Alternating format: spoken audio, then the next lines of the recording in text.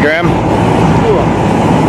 So we've just spent the day here on the front lines, minding balance of a, the first day of what should have been the ceasefire here, this much vaunted ceasefire, the ceasefire that's been talked about all over the world. The eyes of the world at the moment are on the Debaltseve and they're likely to stay in the Debaltseve. There's no sign of any ceasefire here, there's only every sign of war going on, reporting here especially as it's dark.